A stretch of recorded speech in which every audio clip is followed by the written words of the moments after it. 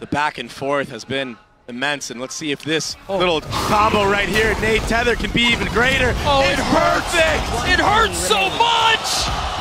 t3xture gets four. That's a showstopper online for sure. Boo will get his two, but what a trap!